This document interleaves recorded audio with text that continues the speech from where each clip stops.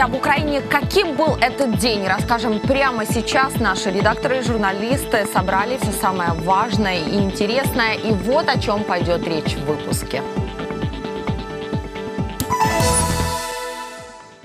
Жизнью я написал в 30 лет про себя там 10-летнего, да. Маркетера написал в 40 лет про своего 20-летнего, да. Освобожденный политузник режиссер Олег Сенцов представил новую книгу. Написал ее за 11 дней в российской тюрьме.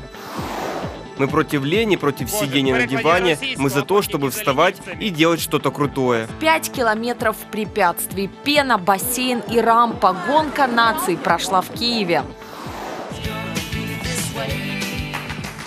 За дружбой этих американцев наблюдает весь мир комедийному сериалу «Friends» 25 лет. Один защитник Украины ранен сегодня на передовой. Ранение средней тяжести, сообщают в штабе Объединенных сил. За день боевики 10 раз открывали огонь по украинским позициям. У Николаевки оккупанты применили пулеметы, вблизи Новогнатовки гранатометы. Также горячо было в районе Водяного. Российские наемники накрыли огнем Лебединское по Новгородскому. Выпускали мины 82-го калибра. Письмо российского политузника Константин Котов написал крымско-татарской активистке из СИЗО «Матросская тишина». Он надеется, что перемены в России близко. Также говорит, не хватает стране понятия «солидарность». И очень рад, что украинцев Кремль наконец-то отпустил. Активиста задержали в августе этого года и приговорили к четырем годам тюрьмы. Обвинили якобы в неоднократном нарушении правил проведения митингов, шествий и пикетов. Котов поддерживал украинских военнопленных и политиков политзаключенных э, в кремлевском плену и выступал за свободные выборы в России.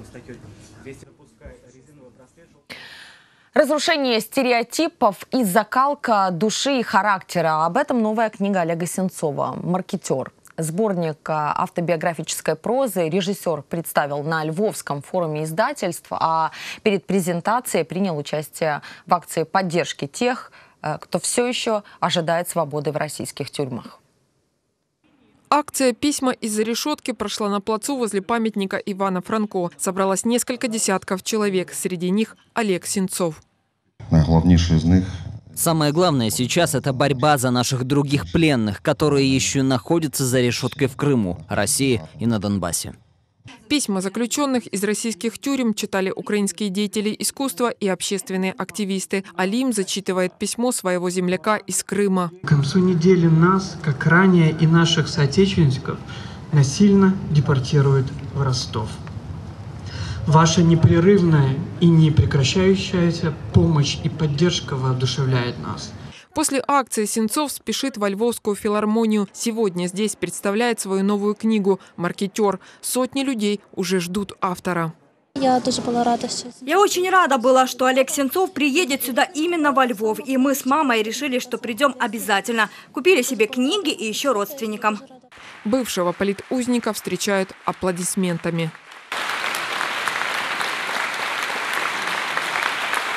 На презентации ни слова о политике, только о творческих планах. Олег рассказывает о том, как удалось написать книгу в заключении за 11 дней и коротко объясняет, о чем она.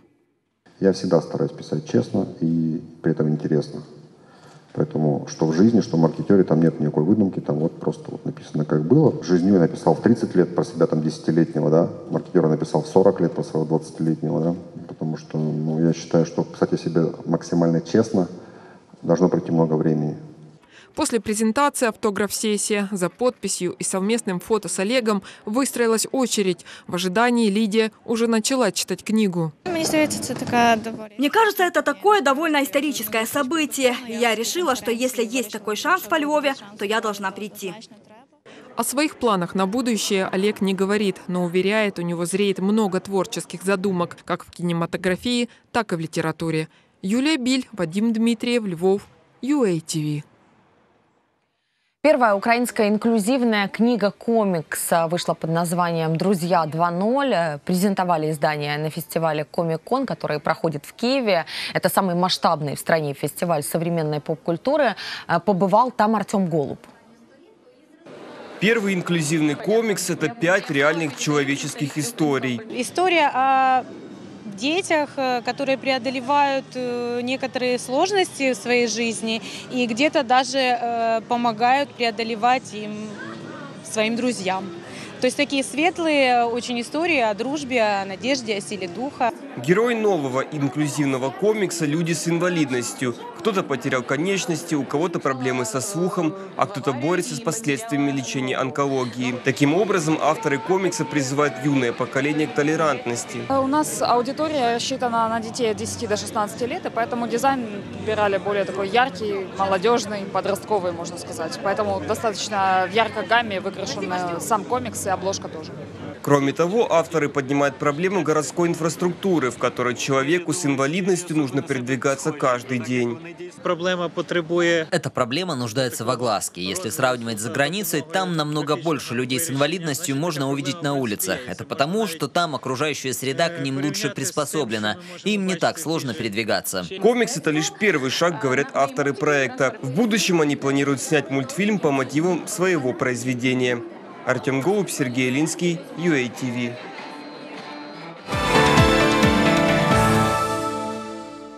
В Гонконге десятки людей забаррикадировались в торговом центре Шатин. Участники антиправительственной акции построили преграды возле шопинг-мола и подожгли их, чтобы не подпустить правоохранителей. Полицейские применили слезоточивый газ.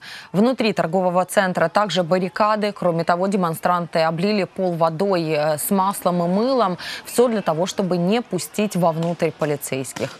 Активисты обвиняют власти автономии в подавлении демократических свобод и нежелании желании разрешить политический кризис. Митинги продолжаются уже больше трех месяцев.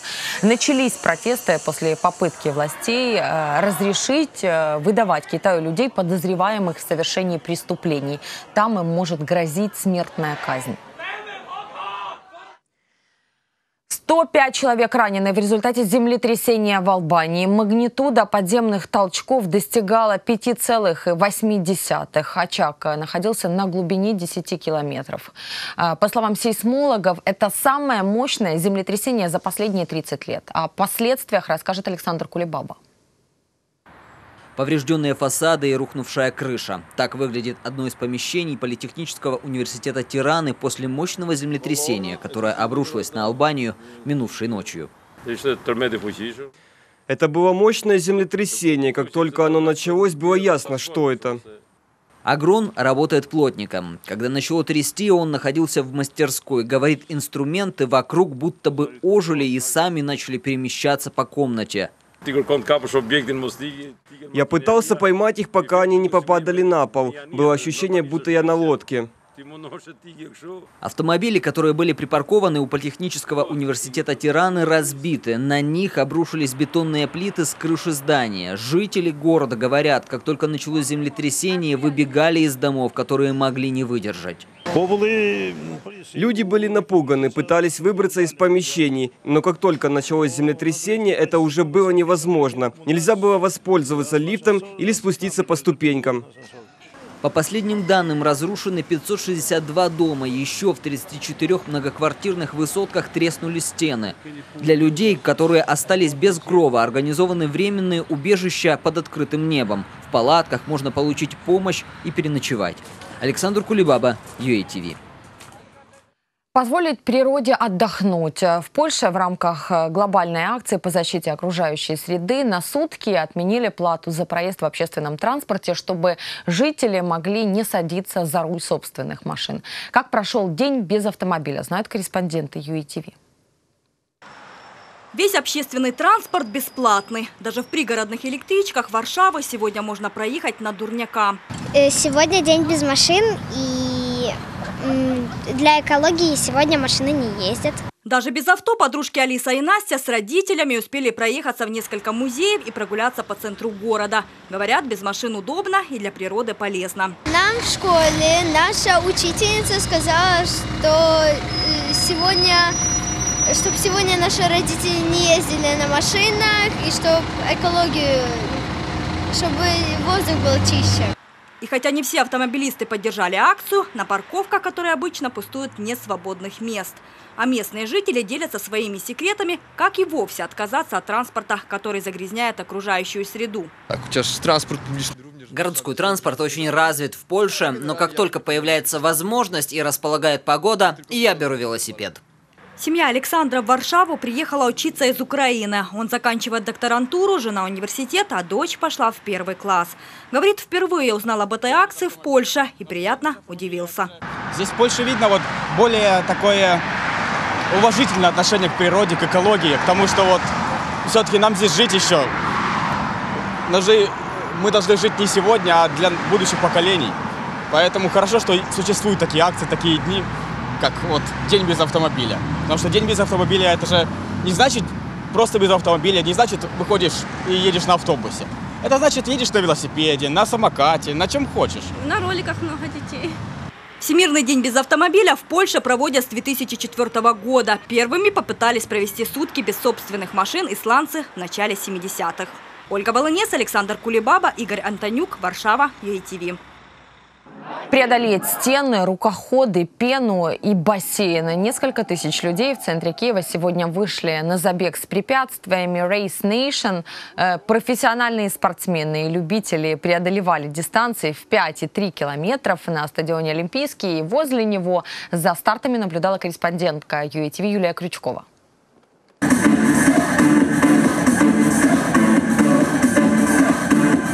Утро воскресенья на площади возле стадиона уже готовятся к забегу участники категории «Элит». Это подготовленные профессиональные спортсмены. Стартуют бегуны на улице. После трасса проходит по лестницам, трибунам и беговым дорожкам Олимпийского. На пути десятки препятствий – стены, перекладины, рукоходы.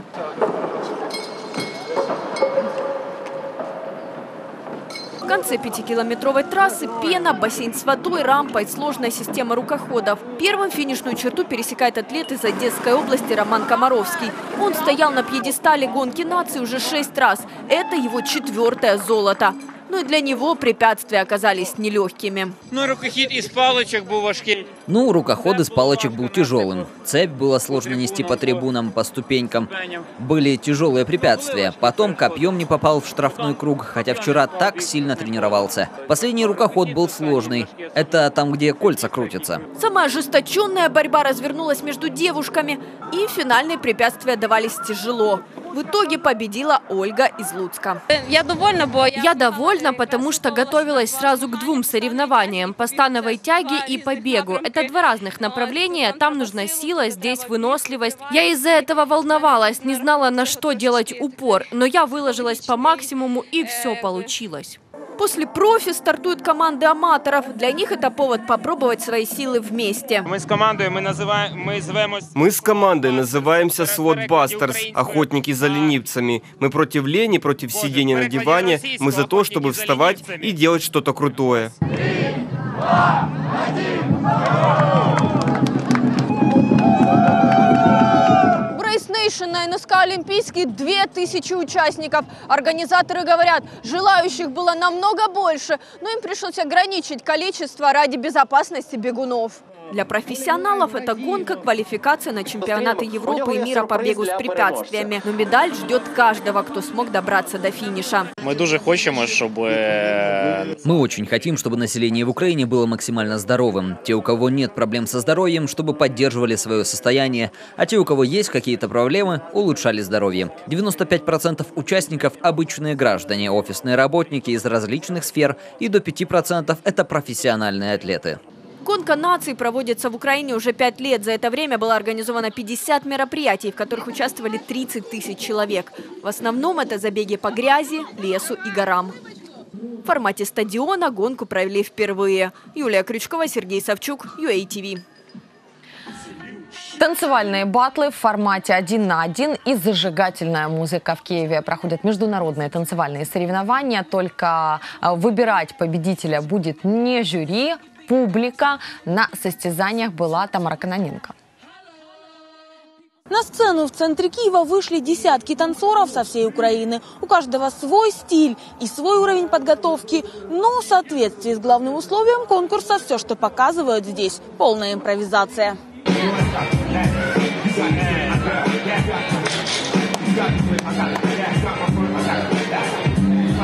Я танцюю хіп-хоп. Я танцую хип-хоп, вдохновляет музыка. Тренируюсь уже больше 10 лет. Чтобы стать частью этого праздника, я танцевал. Вот, в принципе, все просто. И как бы я узнал много разных интересных людей, в принципе, про этот вид искусства. Э, пришел сюда, чтобы поддержать тусовку. А еще э, мне кажется, что это привлечет много людей, которые не занимаются танцами. Соревнуются в формате батлов. Двое танцоров по очереди показывают свое мастерство под композицию, которую слышат впервые. Лучшего выбирает публика. Победитель этих батлов поедет представлять нашу страну на всемирном батле. Такого еще не было, это впервые. Очень много собралось детей, молодежи. Мы призываем их к здоровому и активному образу жизни. Танцы – это один из лучших вариантов. Победители национального финального отбора попадут в международный финал, главная танцевальная битва которого пройдет в Париже уже 12 октября.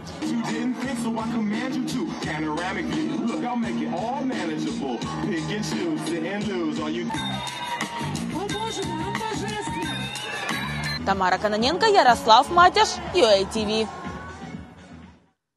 Головокружительный карнавал во французских Альпах. Десятки парапланеристов поднялись в воздух и на каждом костюмы. Э, люди примерили на себя самые разные образы, чтобы удивить публику. Каких героев можно было увидеть в небе над Альпами? Смотрим вместе. Солдат-штурмовик набирает скорость и взлетает в небо. Следом за ним, оседлав метлу, на старт уже готовится Гарри Поттер – Bravo. Voilà, il va falloir qu'il apprenne à pas... На ежегодный фестиваль воздухоплавателей приехали парапланеристы со всего мира. Порядка 130 пилотов соревновались в конкурсе на лучший костюм. Я из Квебека. Пришлось пересечь океан, чтобы попасть сюда. Это лучшее место. Мекка. Здесь мне весело, и я хочу поделиться этой радостью. Только с виду кажется, что летать в массивных и порой совсем неудобных костюмах – это просто. На самом же деле это настоящее испытание для опытных парапланеристов.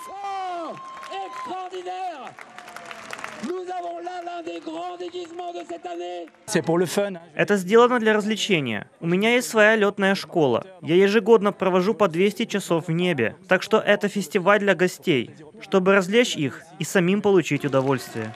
Фестиваль и карнавал проводят во французских Альпах уже полвека. Он назван в честь мифического Икара, который на самодельных крыльях летал к Солнцу. Так и участники карнавала, оседлав порыв ветра, на искусственном крыле покоряют небеса. Александр Кулебаба, UATV. 25 лет исполняется «Друзьям». Первая серия одного из самых популярных сериалов в истории вышла в 1994 году и завоевала сердца зрителей по всему миру. Фильм также признан одним из лучших комедийных сериалов. К юбилею «Друзей» Лего э, выпустила фигурки героев. Google придумал пасхалки. Это внешняя ссылка, которую сложно случайно найти. А американский дизайнер посвятил героям сериала целую коллекцию одежды. Больше смотрите дальше.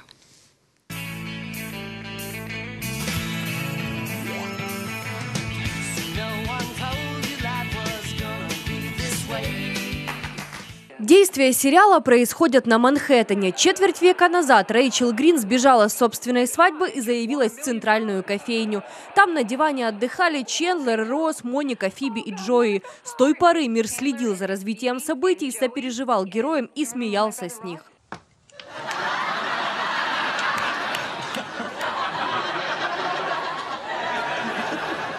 К юбилею выхода телесериала Лего выпустила конструктор по его мотивам. В наборе фигурки героев и кафе, где они всегда собирались вместе. Также есть диван, кресло у журнального столика и барная стойка. Также у каждого персонажа есть свой характерный предмет. Синтезатор у Роса, поднос и чашка кофе у Рэйчел, маффин у Моники, коробка из-под пиццы и мужская сумка у Джои, ноутбук у Чендлера и гитара у Фиби. Google же в честь дня рождения друзей добавил тематические пасхалки в поисковик. Их можно найти, если ввести в поисковую строку имя и фамилию любого из шести главных героев. У каждого также свой характерный предмет. У Чендлера кресло, у Моники ведро, у Роса диван, у Джои Джои Пицца у Рэйчел парик. Кстати, если на него нажать, можно увидеть все прически, которые были у нее в сериале. У Фиби гитара. Smelly cat, smelly cat, А американский дизайнер Ральф Лорен к юбилею сериала приурочил новую коллекцию одежды. Эта линейка также посвящена и участию самого кутюрье в телевизионном шоу. По сценарию Рэйчел устроилась работать в Ральф Лорен, со временем возглавила отдел в компании и даже стала героиней слухов о романе с Лореном. Дизайнер даже лично появился в восьмой серии шестого сезона. Всего в сериале 10 сезонов. Фанаты фильма ожидают продолжения, но сценаристка Марта Кауфман заявила, это всего лишь слухи. Алена Веклич, UATV. Сайт э, телеканала uatv.ua. На этом все. Вот так э, заканчивается эта неделя. Увидимся в понедельник на UATV.